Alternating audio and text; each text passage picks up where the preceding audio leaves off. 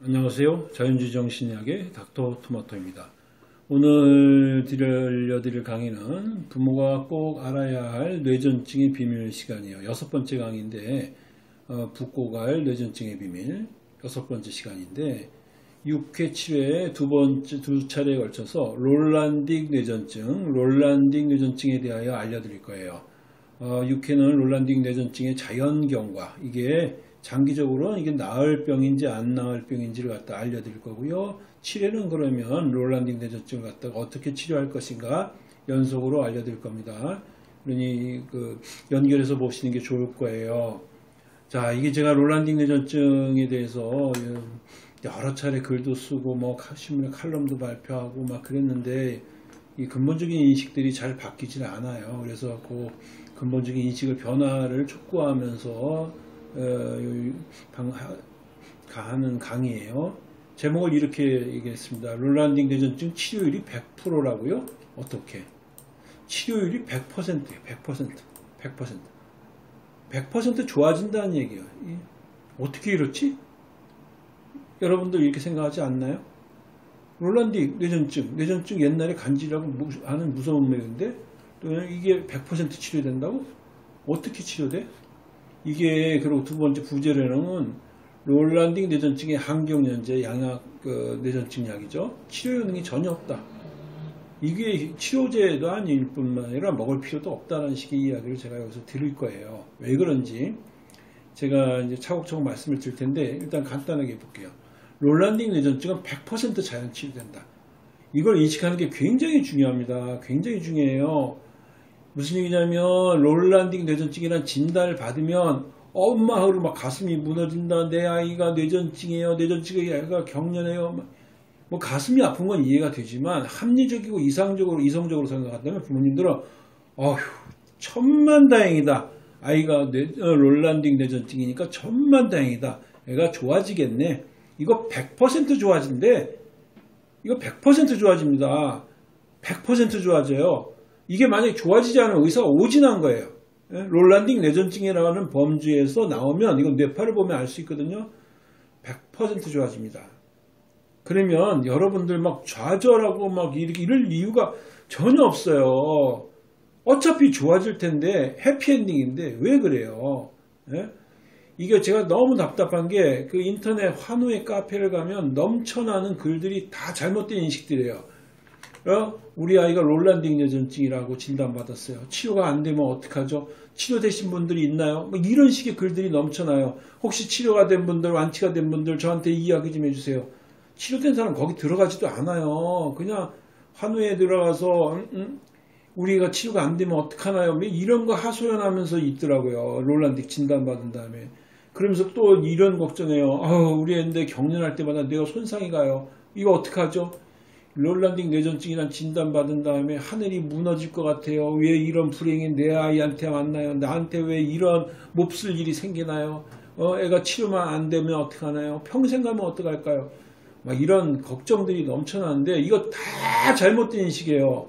예? 애 명확히 말씀드려요. 100% 좋아져요. 그 다음에 경련에도 별 이상 없어요. 예? 내 손상 안 가요. 이거 제가 한의사에서 한 얘기가 아니라 그냥 합의된 내용이에요. 논문으로 입증된 내용이에요. 이 환우에서 이런 인식이 생기고 있는 이유는 뭐냐면 이게 의료 현장에서 위협 치료나 협박 치료가 되게 만연해 있기 때문인 걸로 같아요. 제 생각에는. 네?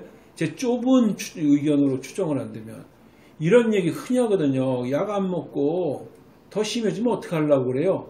의사가 약 먹으라고 그런 걸 설득하기 위해서 하는 되게 쉬운 멘트예요. 제가 만난 많은 환자들은 이런 이야기를 갖다 쉽게 쉽게 들었다고 얘기해요. 그러니까 이 이야기에서 듣는 뉘앙스는 약안 먹으면 심해지는구나. 심해지면 또 이상해지는구나. 어, 뭐 이런 식의 이야, 인식으로 가는 거죠. 예? 그래서, 그, 이게, 그, 잘못된 인식이 더 심해지는 것 같습니다. 그, 이게 그 롤란딩 뇌전증이 100% 완치가 된다는 것에 대해서요. 어, 논문들이 최근에 연속적으로 발표됐어요. 이게 과거에는 저가 이제 그 뇌전증을 처음 공부할 때만 해도 롤란딩 뇌전증은 양성 뇌전증으로 예후가 매우 좋다. 예후가 매우 좋다. 어, 대체로 좋아진다. 대체로 대로 좋아진다. 근데 몇 퍼센트가 얼마가 몇 석까지 이런 게 명확하지 않았거든요. 대체로 14세 이후로 만 13, 14세 정도 이후로 전후로 해서 대체로 다 좋아진다. 근데 대체로 다지 전부는 아니었거든요. 만 13, 14세였다고. 제가 놀란딩 내전증을 갖다 진단받고 나서 만 13, 14세가 넘어가서도 있는 애를 간혹 봤는데 아, 저도 좌절하고 제가 설득하고 뭐 이렇게 되게 고민 그 저 저 저 저 저 막 부모님들 힘들어 했던 진료 경험이 있어요. 근데 최근 들어서 이 이게 그 장기 추적을 해보니까 100% 완치가 되는 보고들이 논문이 국내에서만 제가 본 것만 두 차례 나왔어요. 하나는 분당 서울대 논문이고 또 하나는 인천인가 부천에서 그 병원 이름은 정확하게 기억이 안 나요. 순천향 병원이었는지 성모병원이었는지 거기서도 추적 조사했더니 100% 좋아지더라는 보고가 있었습니다. 이 분당 서울대 논문이 상당히 양호한 논문이죠. 좋은 논문이에요. 18년도 발표했는데 영문 제목이 쭉 있는데 이 빨간 것이 보면 돼요. 양성 간질로 알려진 롤란딕 간질에서 간질파로 알려진 극서파의 소실이 언제쯤 이루어지는가에 대한 연구 보고입니다. 제목이 이렇게 되는데 말이 복잡하죠. 한마디 말하면 롤란딩 뇌전증이라고 진단받았을 때 뇌파가 언제 간질파가 싹 없어지고 깨끗해지는지 추적 조사해 봤다는 거예요. 해보니까 평균 나이가 11.9세, 즉 만 12세 정도의 평균이에요. 평균. 그 전후로 해서 몇 년씩 가겠죠. 이때 되면 그러니까 평균 어, 이때 되면 대부분 뇌파가 깨끗해지고 정상이 되더라요. 예? 정상으로 완전 치료가 되는데 아주 늦은 경우라도 만 17세 이전에는 뇌파가 정상으로 돌아왔다. 아주 늦은 경우라도. 그 통계를 쭉 보면 거의 다, 100, 다 해였어요. 100%. 즉, 룰란딩 전증은 자연호전 경우가 100%로 명확하다는 거예요. 그러니까 과거에는 이게 좋은 건 알았는데 몇 퍼센트인지 장기 추적의 논문들이 없었기 때문에 이 명확하지 못했거든요. 근데 최근에 놓은 논문들은 다 100%예요. 100%. 그래서 이게 단지 어, 빨리 되는 애도 있지만 늦으면 만 17세까지도 가더라는 거예요. 여러분 이 롤라딩 뇌전증이랑 진단 받으면 아 이건 100% 자연치료돼 100% 좋아져 100% 완치돼 이거부터 생각하셔야 돼요. 경련 해도 큰 문제 없어 뇌손상 안 가요. 예? 이게 뭐냐면 지금 서울대 논문이요 뭐 항경련제를 먹어서 치료한 애들만 대상으로 한 게 아니야. 항경련제 전혀 안 먹는 애들도 추적 조사 해 보니까 결국은 다 좋아지더라요. 예? 양약을 안 먹는 애도 좋아지더라요. 이게 그냥 가만 냅둬도 좋아져요. 빨리 좋아지고 늦게 늦어지고 차이는 있지만 그냥 100% 좋아져요. 슬퍼할 일이 없어요. 엄마 아빠들. 예? 이 제발 롤란딩 뇌전증이란 진단을 받고 나면 좌절할 게 아니라 어우 천만 다행이다 천만 다행이다. 이렇게 생각하셔야 돼요. 격려를 하는 거 보면 아우 이걸 어떡하나 평생 남았잖아 이렇게 좌절할 일이 아니라 아유 이놈 좀 고생스럽네 이 정도로 안타까운 정도로만 생각하시면 됩니다. 두 번째로 드리고 싶은 얘기는 롤란딕 뇌전증에 항경련제 쓸 이유가 없어요 이유가. 보세요. 약을 왜 먹어요? 왜? 이게 냅둬도 좋아지는데? 냅둬도 좋아진단 말이야 가만히 있어도 좋아진단 말이야. 치료가 된단 말이야. 자연 치료가 된다고. 몇 프로? 100%. 그럼 약을 왜 먹이는 거야? 치료가 되는 건데. 자, 보세요. 한우에도 보면 또 카페에 보면 이 잘못된 정보가 넘치거든요. 약을 안 먹으면 점점 더 심해져요. 아니요. 약을 안 먹어도 좋아져요. 약을 먹어야 뇌 손상이 막아진다? 아니요. 약을 안 먹고요. 경련 몇 차례 막 해도요. 100% 좋아져요. 예? 그 논문이 확인한 건 그거예요. 약을 안 먹고 경련 몇 차례 막 해도 애가 결국은 좋아진다는 거예요. Rolandic 뇌전증으로 경련을 해도 뇌손상 안 가요. Rolandic 뇌전증으로 경련을 해도요. 예? 뇌전증 안 가고 점점 심해지는 거 없어요. 아무리 Rolandic 뇌전증으로 경련을 해도 아이는 완치가 돼요. 이게 팩트예요. 그래서 이 정확하고 롤란딩 뇌전증이나 진단이 내려지면 진료 지침이 임상간질학이라는 이게 전문의 교과서에 보시면 이렇게 되어 있어요. 첫 번째, 양성연과에 대해서 부모에게 알려줄 거. 뭐라냐? 이거 100% 좋아집니다라고 알려줘야 돼요. 둘째, 환경연제 복용에 대해서 부모에게 선택하게 할 것. 그 무조건 먹으라고 한 게 아니라 먹을지 안 먹을지 부모님이 결정하세요. 라고 되어 있어요. 이것도 코미디예요. 아니 약을 먹을지 안 먹을지 의사가 결정하지 무슨 부모가 결정하게. 그 얘기는 뒤집어서 말하면 의학적으로 먹을 필요를 갖다가 없는 거예요, 별로. 먹어야만 합니다라고 이야기할 근거가, 의학적 근거가 명확히 없는 거예요. 그러니까 부모에게 선택하라고 하라고. 그러면서 이렇게 설명돼 있어요. 먹을 필요는 별로 없지만 부모가 불안해하는 경우 먹어야 할 수도 있다. 아니 부모가 부모 불안해하는데 왜 애한테 항경리제를 먹어요? 부모한테 안정제를 먹여야지. 예?